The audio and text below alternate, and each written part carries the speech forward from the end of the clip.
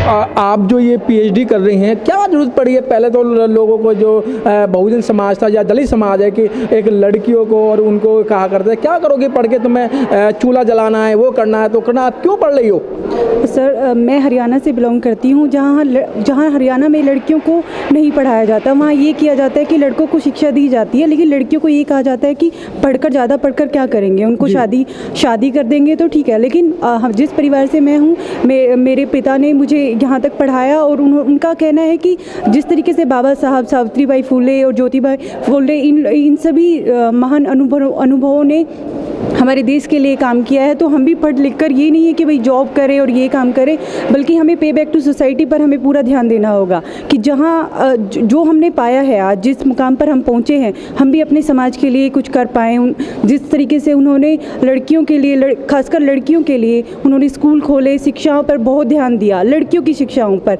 तो वो हम पी करके या आगे पढ़कर हम भी हम भी हरियाणा में जैसे हम लोग काम भी कर रहे हैं इस तरीके से तो हम इन काम को आगे बढ़ा सकें।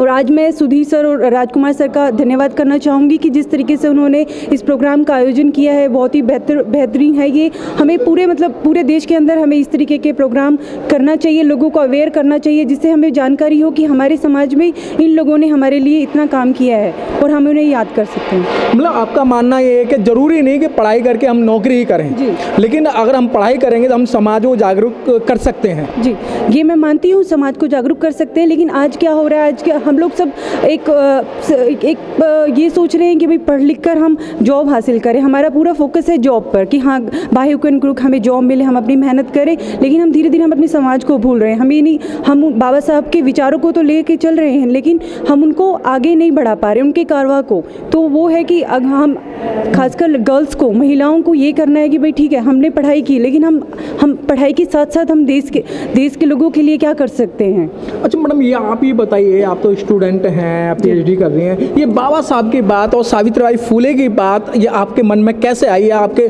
गार्जियंस ने आपको जगाया या टीचरों ने ऐसे आपको जगाया? जी मेरे माता पिता ने मुझे इसके लिए इंस्पायर किया करते हैं? मेरे पापा बिजनेसमैन हैं। बिजनेसमैन जी। और बिजनेसमैन होने के बाद में भी वो बाबा बाबा साहब की बात करते हैं सावित्रीबाई फूले की बात करते हैं। जी। और मम्मी? मम्मी हाउस वाइफ हैं। हाउस वाइफ है? जी जी। हाँ तो कैसे आपको ये प्रेरणा मिली?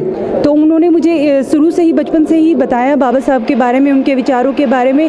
फिर जैसे जैसे मैं आगे आई दिल्ली आई दिल्ली में मैंने पढ़ाई की तो मैं यूथ फॉर सोशल जस्टिस के साथ जुड़ी सुरेंद्र सर के साथ। तो जिस तरीके से मैं इस ग्रुप में काम कर रही हूँ धीरे धीरे तो मुझे उनके विचारों को बहुत गहराई से जानने को मिला और आगे मैं इसी पे अपना मेरा जो पीएचडी का वर्क है वो empowerment of schedule caste women पर है। एजुकेशन थ्रू एजुकेशन तो दलित महिलाओं के एजुकेशन के ऊपर ही मेरा काम है। मेरा यही मानना है कि भाई एजुकेशन से ही हम एम्पावर नहीं कर सकते लेकिन एम्पावर में इसके साथ साथ एजुकेशन के साथ साथ हम इसको और किस तरीके से बेहतर कर, कर सकते हैं मतलब एजुकेशन को किस तरीके से हम समाज को और जागरूक कर सकते हैं कि ठीक है शहरों में लड़कियाँ पढ़ रही हैं आगे बढ़ रही हैं लेकिन वहीं गाँव के अंदर हम देखते हैं कि वो सिर्फ़ पढ़ के सिर्फ़ बारहवीं तक उसके बाद उनका स्कूल छुड़वा दिया जाता है और उसके बाद वो कॉलेज नहीं जा पाती हैं और वो अपनी पढ़ाई भी कंटिन्यू कर पाती हैं और ना ही वो उस पढ़ाई का आगे फ़ायदा उठा पाती हैं।